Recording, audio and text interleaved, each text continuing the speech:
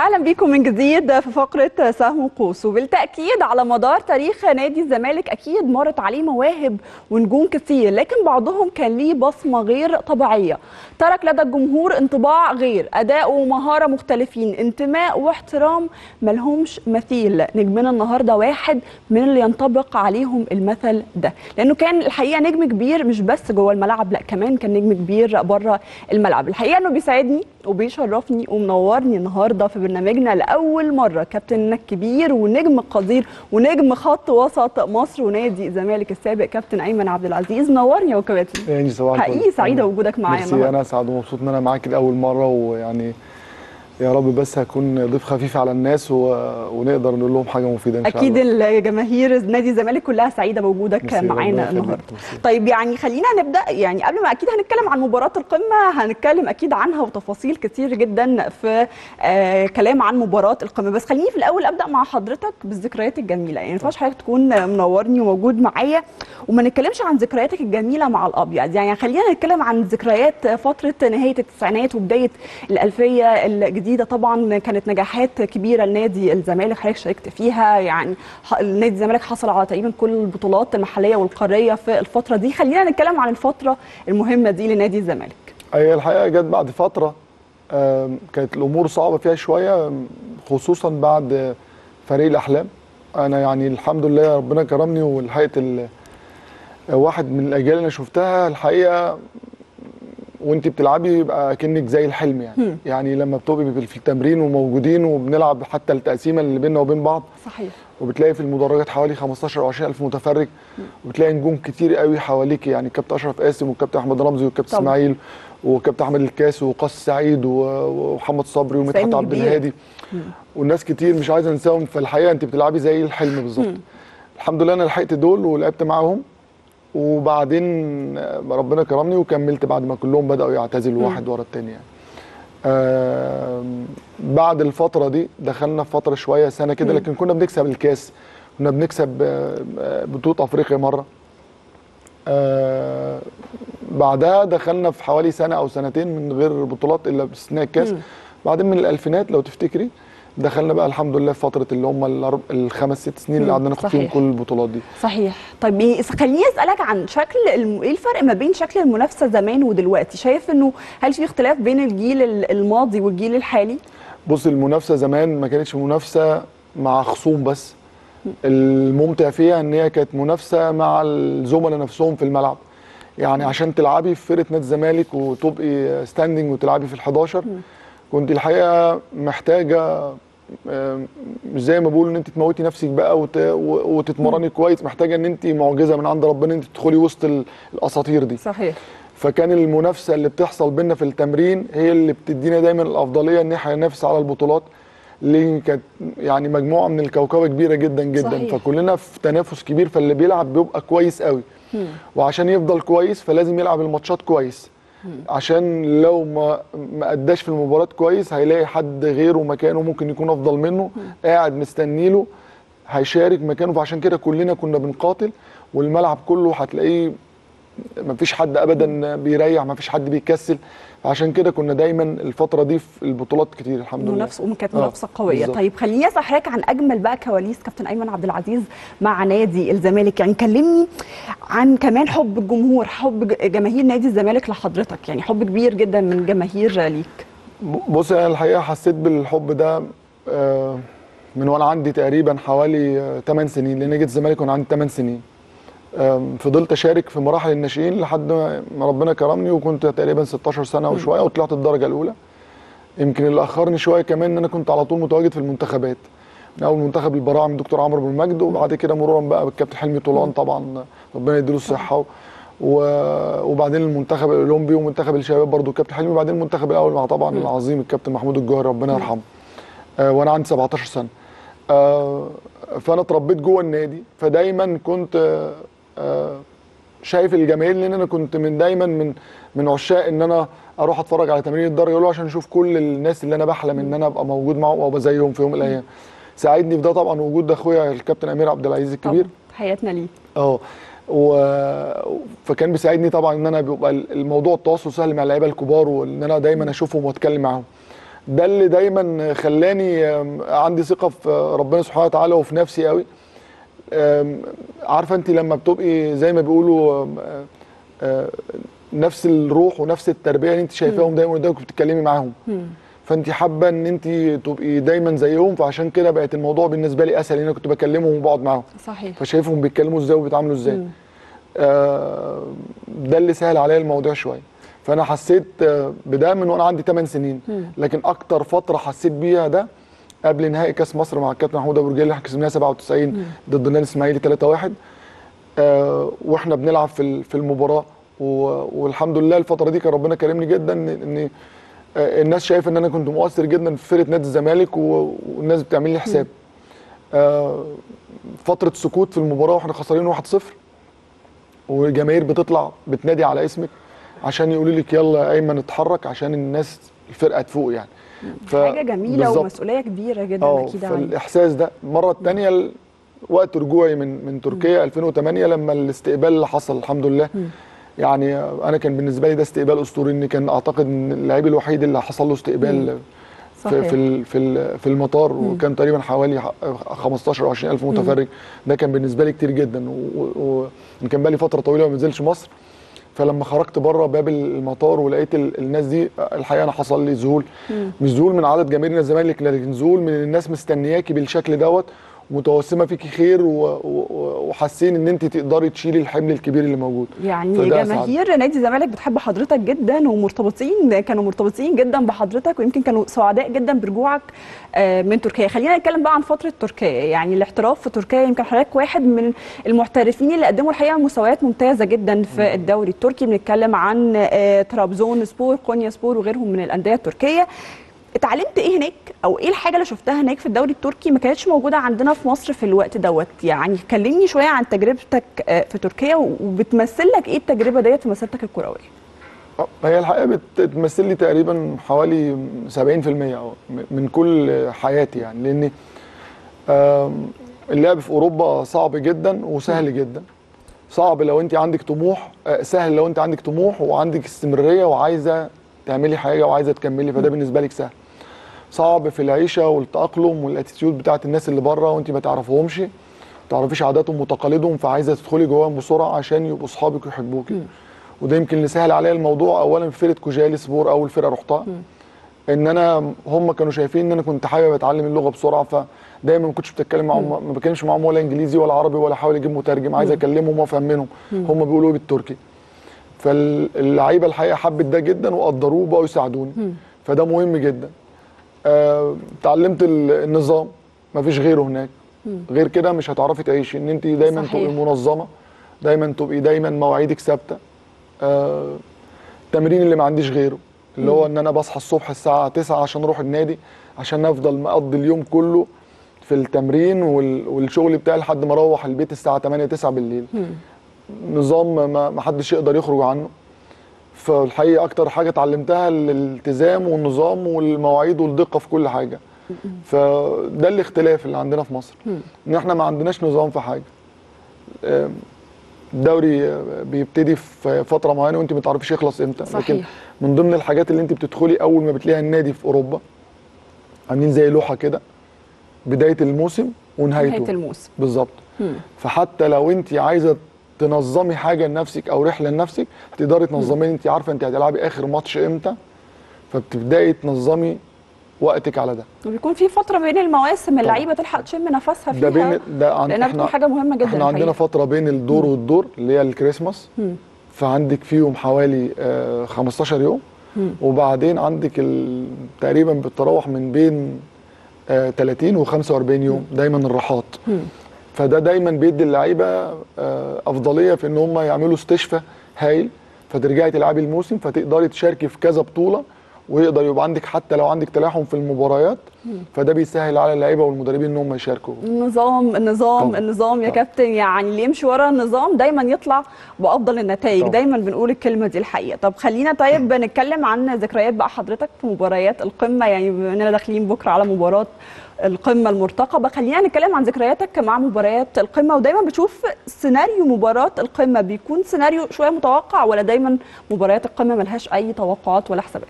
لا هي ملهاش حسابات ولا ليها توقعات خالص. هي دايما أنا بعتبرها ال- النسب فيها بين المدربين واللعيبة يعني 60 40 أو 70 30 للعيبة. دايما بتبقى مباريات لعيبة وشخصيات. ودايما هتلاقي كل مباراة قمة زي ما بيقولوا بتولد لك نجم أو اتنين سواء في الفرقة في الزمالك أو في الأهلي. عشان كده أنا دايما بسميها مباريات لعيبة. ف إحنا دايما لو عندنا لعيبة عندها شخصية وعندهم رغبة المكسب والروح اللي موجودة هتلاقي المباريات دايما بتبقى محسومة لينا. صحيح. فأهم حاجة شخصية اللعيب في المباراة ديت لأن في لعيبة كتير جدا جدا بتبقى كويسة قوي في المباريات العادية. وتيجي تلعب مباراة الزمالك والأهلي ما بيبقاش موجودة. وفي. لعيبة بتجيبيها من البيت. تقدر تلعب مباراة الزمالك والأهلي. دي لعيبة عندها شخصيات وشخصيات كبيرة. فده اللي إحنا محتاجينه في مباراة بكرة إن شاء الله بإذن الله.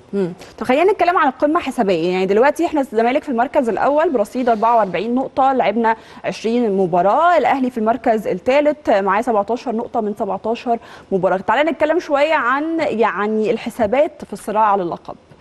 آه، الحسابات في الصراع على اللقب أعتقد انه هتبقى صعبة دلوقتي خصوصا إن الأهلي عنده ثلاث مباريات مؤجلة. المؤجلات صح. آه، فمش هتتحسم إلا لما النادي الأهلي يبتدي يلعب مؤجلاته كلها وتبتدي تشوفي ترتيب الجدول من جديد. لكن في الآخر أنا اللي يهمني إن نادي الزمالك يفضل يكسب على طول لأن بغض النظر عن لما تبصي لخصومك أو تبصي للفرق اللي تحتيكي أو معاكي في المنافسة طول ما أنت بتكسبي وبتكسبي أكبر عدد من المباريات وبتكسبي أكبر عدد من النقاط اللي موجودة ده طبيعي هيديكي سهولة جدا وأفضلية في إنك تكسبي الدوري.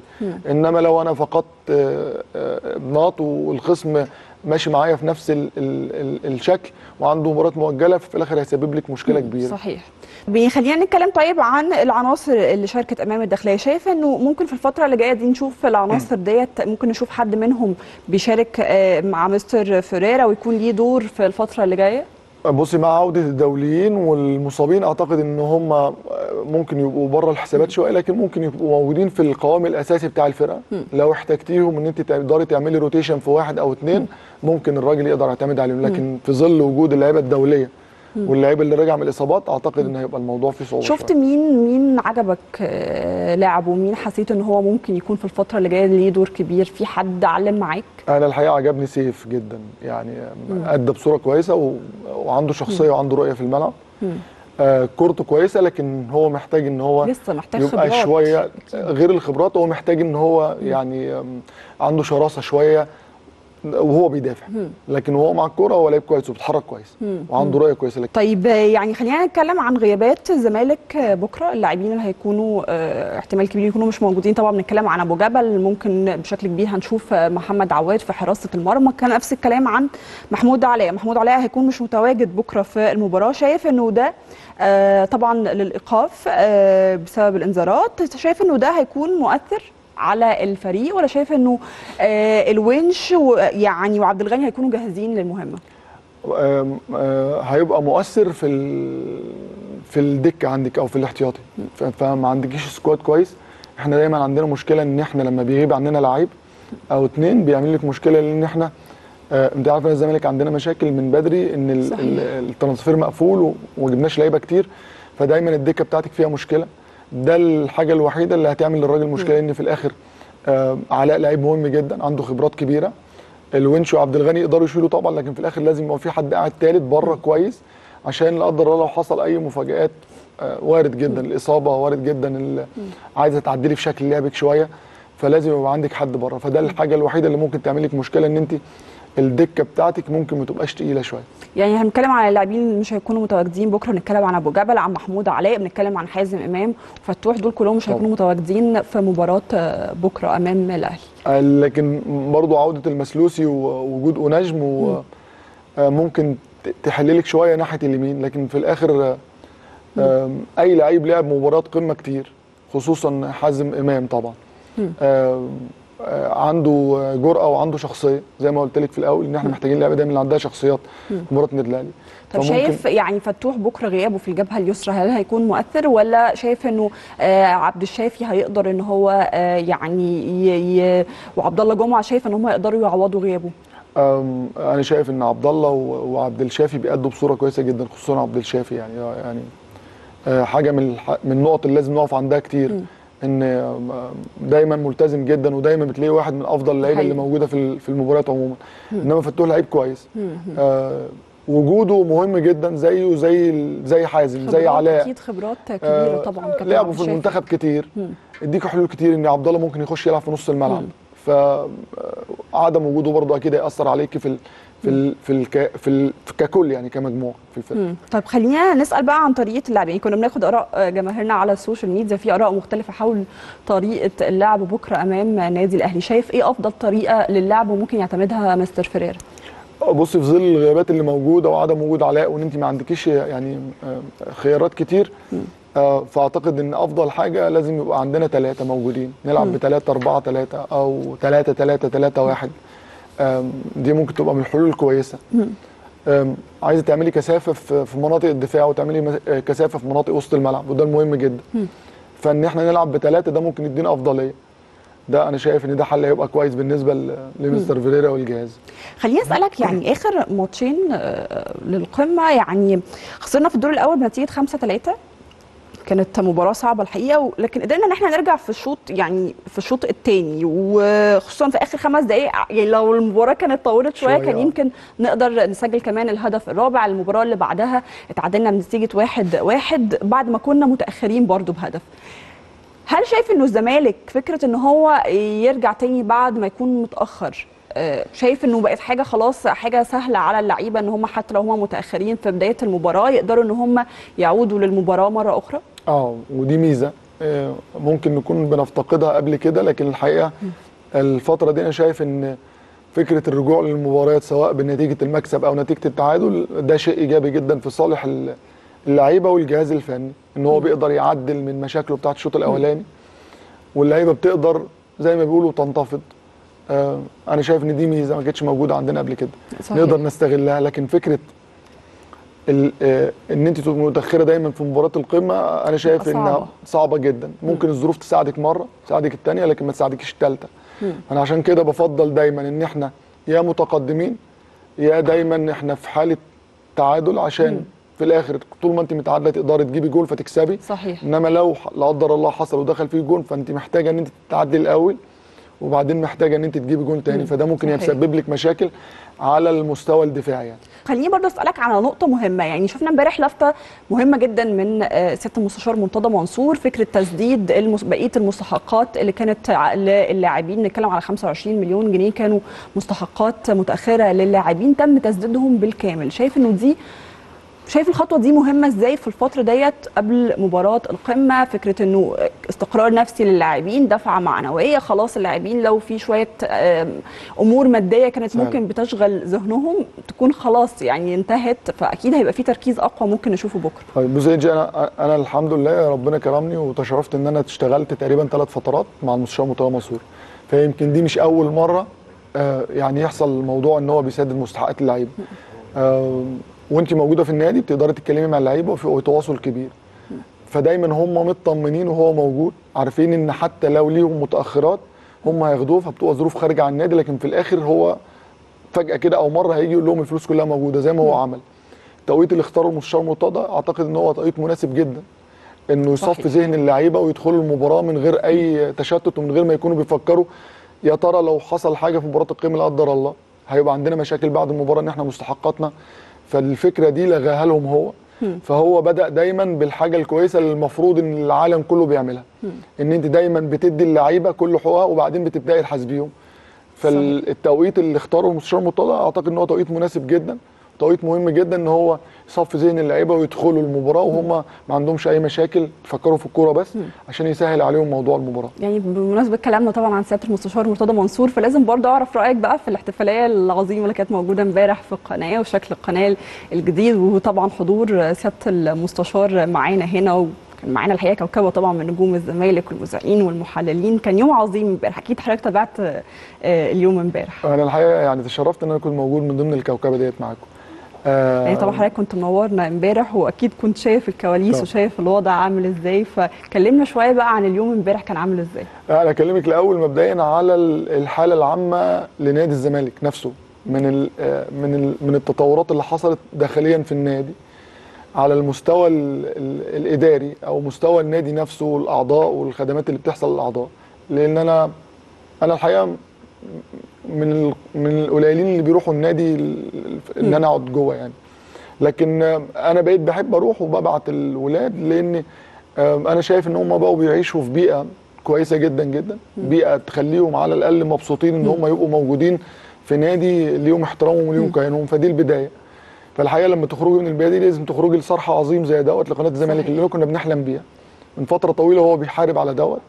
والحقيقة يعني لازم كلنا نشكره إنه إصراره ومجهوده إن هو يفضل مكمل إن نادي الزمالك يبقى عنده قناة وعنده آه، آه، قنوات شرعية تدافع عنه هو بس. طبعا دافع عن النادي.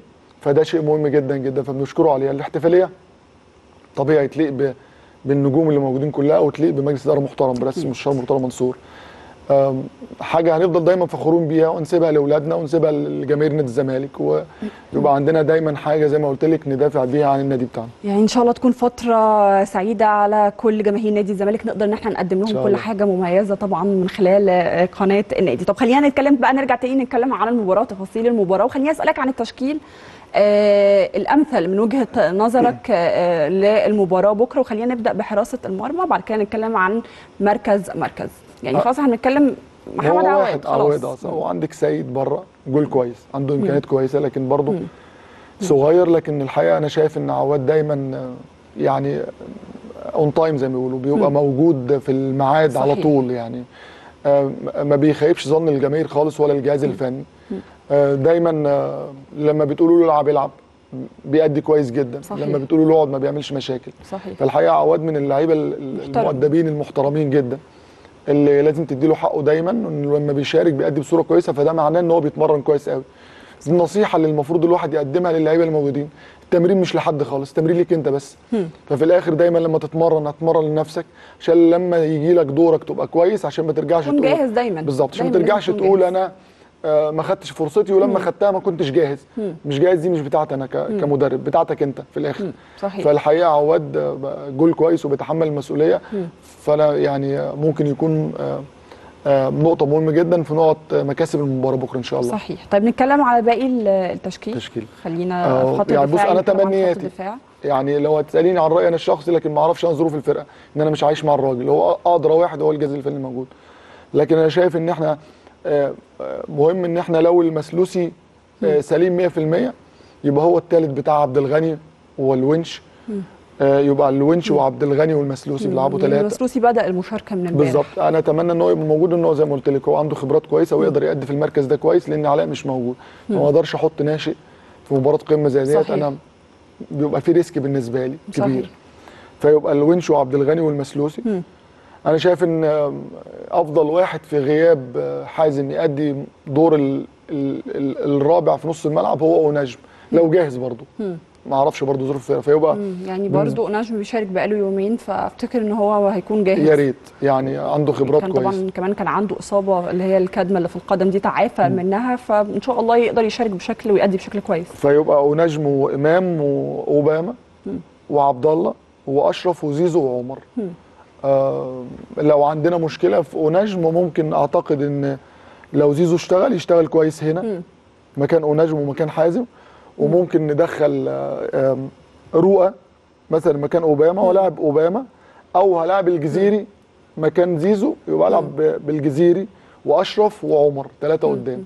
شايف مين ممكن يعوض غياب طارق حامد في نص الملعب؟ آه، الحقيقة طارق يعني عامل لنا مشكلة. ده حقيقي من بالظبط. ساعة ما مشي هو عامل لنا مشكلة يعني آه، محتاجينه يرجع سريعا يعني. ستة آه، دايما. وخلي بالك عايز أقول حاجة ده ممكن يكون سبب من أسباب إن الديفنس بتاعنا بقى له فتره في متأثر عدم اتزان لأن يعني. آه، آه، انت ما عندكش ستارة خالص.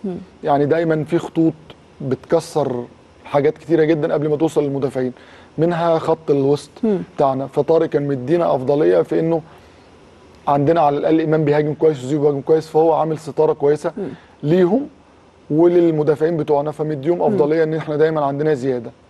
فيمكن ده عامل لنا مشكلة لكن ممكن آه، رؤى يشتغل كويس فيه. لو آه، يعني إحنا بنتكلم إن إحنا. عندنا مشكلة في خط الدفاع. وعلى الجانب الآخر زي ما إحنا شايفين في آه، الأهلي يعني خط دفاعه هو الأقوى. حتى الآن إحنا بنتكلم من 17 مباراة منهم ثلاثة يعني استقبل 12 هدف في الدوري. حتى الآن من 17 مباراة. فاحنا بنتكلم الأهلي- انه خط الدفاع عندهم قوي جدا. إحنا عندنا مشكلة في خط الدفاع. محتاجين إن إحنا مش defense و. نشوف حل يعني المشكلة دي بكرة. بصي هو مش defense النادي الأهلي. يعني مع الاعتذار للجميع ومع احترام للجميع كلهم لعيبة كويسين.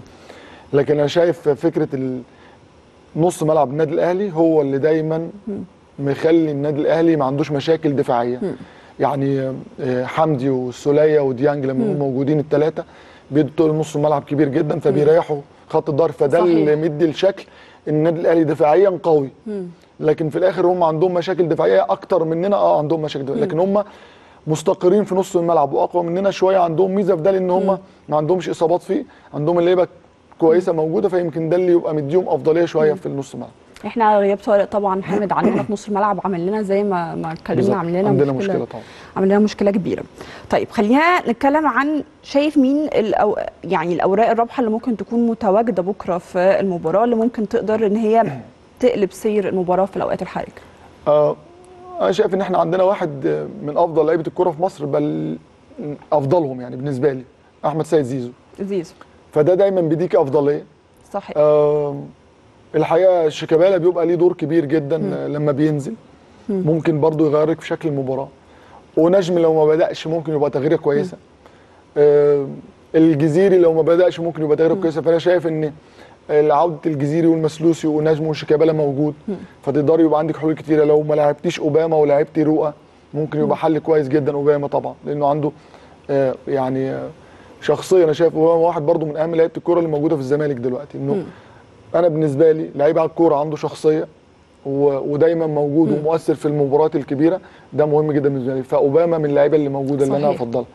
فزيزو بلا شك. آم، أشرف طبعا لو لو في, في يومه زي ما بنقول كده لكن أشرف يعني عنده شخصيه الحقيقة.